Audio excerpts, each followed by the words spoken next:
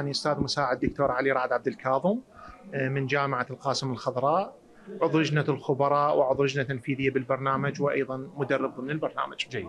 آه، دكتور اليوم نتحدث عن آه، جنابك اعتديت المنصة وأعطيت معلومات. نعم. هذه المعلومات بها تفصيلية دقيقة جدا لكل ملف تفصيلية مسوية نعم. هذا المنهاج من وضعه أولا؟ تمام. وثانيا آه، صار اكو فد يعني عندكم مؤشرات في الجامعات مؤشرات عند الأساتذة آه، يعني أجهزة استشعار تملون من خلالها الفراغ تعدلون الأخطاء السابقة. يكون اكو تحديث لطرائق التدريس؟ نعم. آه، شكرا جزيلا للاستضافة. حياك الله. إحنا بدينا بهذا البرنامج صار تقريبا من 2020 مع جائحة كورونا. نعم.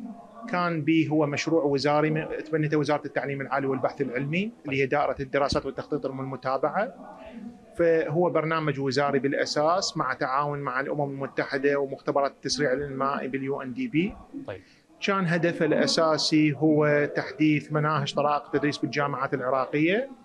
لتكوين منهاج اسمه منهاج طرائق التدريس نحو التعلم المدمج. باعتبار إحنا مرينا بأزمة آه، اللي بصراحة العالم كله مر بأزمة آه، جائحة كورونا واللي تحول بها التعليم التقليدي داخل الجامعات إلى تعلم إلكتروني بالأساس حتى يغطون المناهج بها فمن هذه التجربة كانت المنبع والأساس بأن نطور طرائق التدريس مالتنا حتى نشمل الجانب الإلكتروني بها وحتى نشمل هذا الجزء المهم بها مع تطور العلوم التكنولوجية.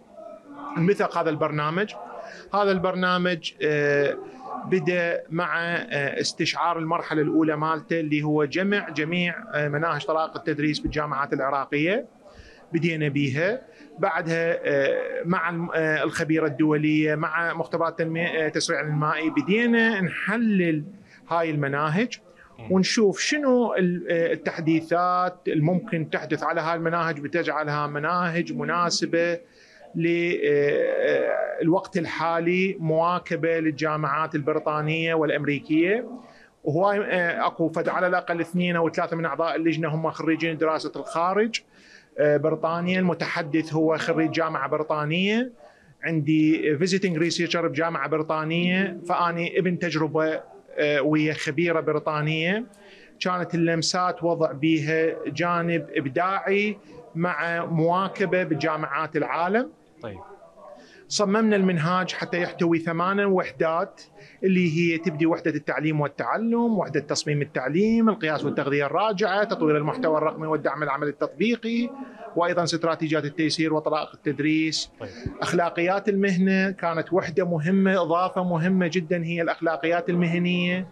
وأيضا جودة التعليم كانت جزء مهم من هذه الدورة وأيضا البحث العلمي. زين دكتور بس بدي اقاطعك هنا عذرا يعني.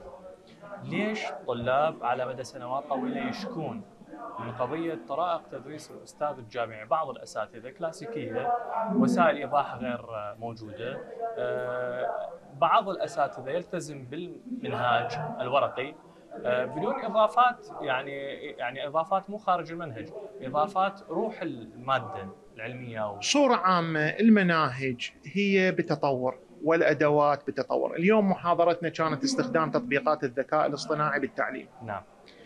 وأنا متأكد أثناء أعداد المحاضرة مالتي البارحة نفس الأدوات الاصطنا... الذكاء الاصطناعي والأدوات التكنولوجية المستخدمة بالتعليم. تتحدث دزولوا مثلا دزوا لي إيميل قالوا هاي الأداة بدها تستخدمها حاليا بها تحديث حلو. فهو هاي خلال بتقدم مدة بسيطة. خلال مدة بسيطة. فهي جميع الأدوات آه، اللي دي تستشعرها حضرتك هسه حاليا وجميع الجمهور من ناحية استخدام الأدوات التكنولوجية التعليم الرقمي هي بتطور.